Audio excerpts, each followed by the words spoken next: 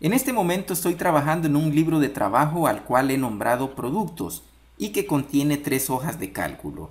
La primera electrónicos, la segunda artículos de limpieza y la tercera medios de respaldo.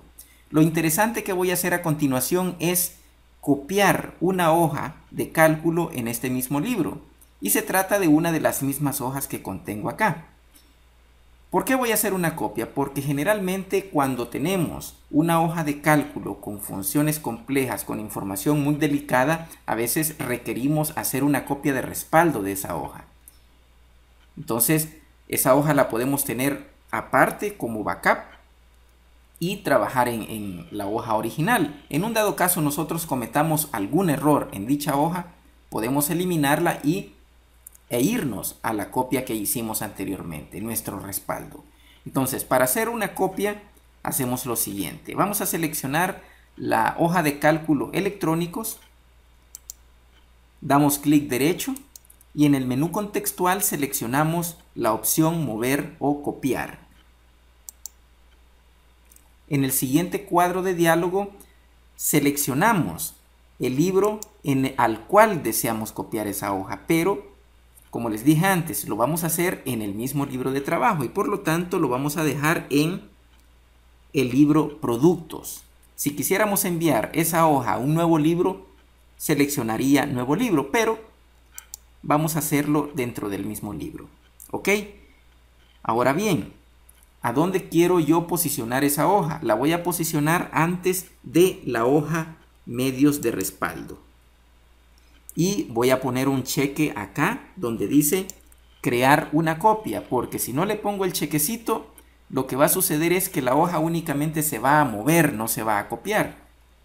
Doy a aceptar y en este momento la hoja se ha creado la copia. Observen que antes de la hoja de cálculo medios de respaldo dice electrónicos y entre paréntesis 2 porque es una copia de la anterior.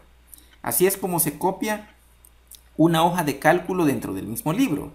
Ahora bien, vamos a, mover, o mejor dicho, vamos a copiar, porque si la movemos vamos a eliminar la hoja del libro original y la vamos a enviar a un nuevo libro. Lo que vamos a hacer es una copia hacia otro libro. Vamos a, a seleccionar la, la hoja de cálculo artículos de limpieza, damos clic derecho, seleccionamos la opción mover o copiar y en este caso vamos a seleccionar acá en el cuadro desplegable nuevo libro. Y vamos a, a crear una copia. Damos a aceptar. Observen este es un nuevo libro el libro 1 vamos a, a minimizar esta ventana. Este es un nuevo libro. Dentro del nuevo libro se ha creado o mejor dicho, se ha copiado la hoja que traemos desde el libro productos, que es la hoja de cálculo artículos de limpieza. ¿Ok? Este es un nuevo libro. Muy bien, ahora vamos a hacer una tercera cosa muy interesante. Vamos a, cerrar este libro de trabajo, lo vamos a guardar, lo vamos a descartar. Vamos a abrir un libro que tengo aquí en documentos recientes y tiene de nombre clientes. Vamos a, a colocar este libro en el extremo derecho de la pantalla, lo vamos a acoplar ahí y el libro productos lo vamos a acoplar en la parte izquierda. Ok, aquí tenemos los dos libros. Observen que el libro clientes tiene una hoja de cálculo que tiene de nombre clientes. ¿Ok? Ahora lo que vamos a hacer es copiar desde el libro productos la hoja de cálculo medios de respaldo. Vamos a, a visualizarla. Medios de respaldo. ¿Ok? Esta es la hoja de cálculo medios de respaldo. Y la vamos a enviar al libro clientes. Muy bien, vamos a seleccionar la hoja, de, la, hoja de cálculo, medios de respaldo, damos clic derecho y seleccionamos la opción mover o copiar. Siempre el mismo procedimiento, lo único que aquí en el cuadro desplegable vamos a seleccionar la hoja de cálculo, perdón, el libro de trabajo clientes.